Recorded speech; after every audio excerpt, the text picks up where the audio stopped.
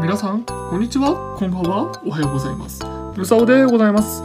えー、約2日前のことですね。私はツイッター上であるアンケートを実施したんですね。それがこちら。はい。ということでですね、あの、私が遊び大全51を買うか買わないかっていう、まあ簡単に言うとそういうアンケートなんですけど、えこちらね、いろんな方が本当に投票してくださって、もうね、50人以上だから投票してくれたということでありがとうございます。ということでですね、この動画は私が遊び大全51を、世界のですね、世界の遊び大全51を買ったかどうかという答え合わせの動画になっております。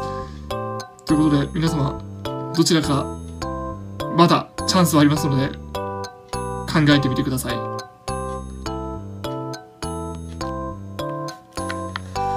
そしてこちらの箱はですね、あの、箱っていうか袋になるんですけど、あの、入ってない可能性もございますんでね、あの本当にどっちなのかっていうのは皆様のもう最後の判断まで、ちょっと期待していてください。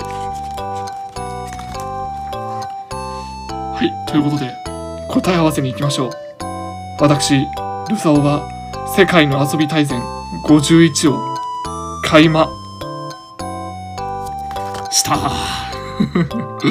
そうなんです。世界の遊び大全51購入させていただきました。うん。ということでですね、あの今度からこちらのゲームで、あの、皆さんとご一緒にね、あの、遊んだり、そしてあの、身内のハジックと、サヌキですね、と一緒にこちらのゲームを、あの、ワイワイガイガイ一緒にやったり、っていうのも、あの、お届けできたらなって思います。